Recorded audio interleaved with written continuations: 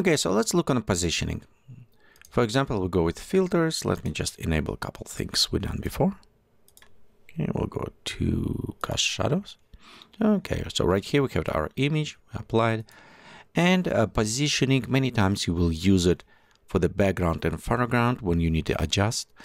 Um, with some exception, position won't work if you're going inside the canvas and you enable um, to some aspect ratio specific lock. So let's go back. And as a position tool, right now we select foreground, you notice we have it a different type of icon. So if I click anywhere, I can just drag and position. Okay.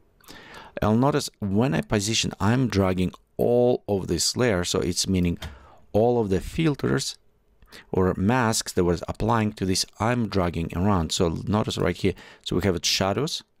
And if I move there, you see the shadows moving as well. So this is kind of very nice.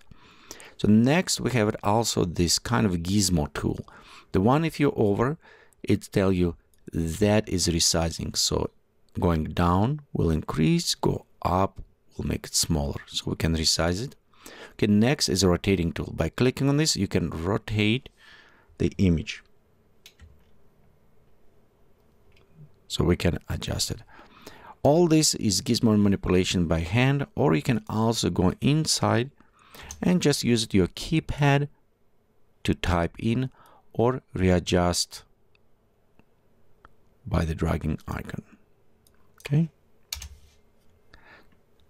So the position horizontal, vertical, you can see we can adjust same way as we drag and drop. Okay, with same things, we can readjust scale from here instead use it gizmo. And also we have the flip horizontally image or flip vertically. So we have full adjustment on this one.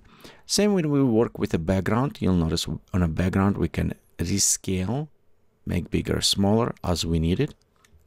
We can have adjustment position horizontal, vertically, same as we did before. You can do also manually by dragging around.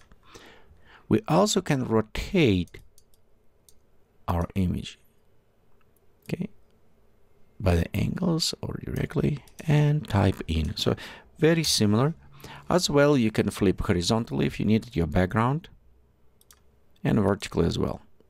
Anytime when you want to just reset, if you click on reset, it will bring to original position. So right here you can see our background is smaller.